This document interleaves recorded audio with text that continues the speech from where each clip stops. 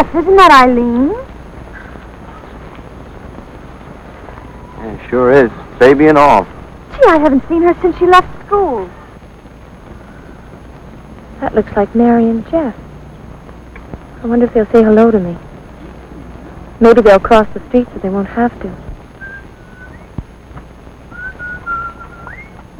Hi. Hi, Mary. Hi, Jeff. How are you? Nice Hi. to see you again.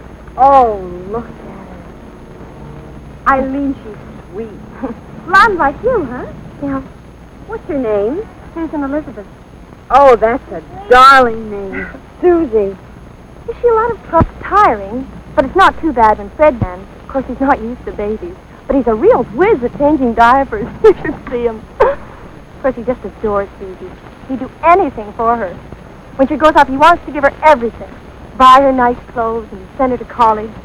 Say, uh, how's Fred getting along anyway? I hear he's got a job at the steel mill. Oh, Fred's doing just fine. Of course, it's not the kind of job he planned on, but still, he enjoys it. He really looks forward to going to work every morning. He says it's a lot better than school, and he's making a lot of money. It's nice he's doing so well. Why don't we ever see you anymore? Oh, well, we don't seem to get out much. Of course, having an apartment of your own keeps you kind of busy. Besides, we both enjoy spending a quiet evening together at home. Well, it sounds as if things are working out okay for you and Fred, eh? Oh, yes, we're getting along just fine.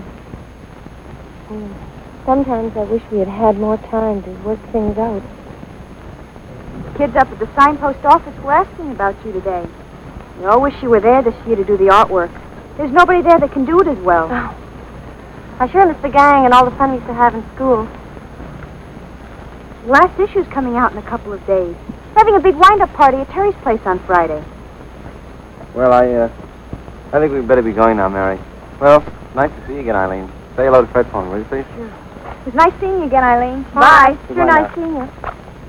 So the gang's having a party. They'll have a lot of fun.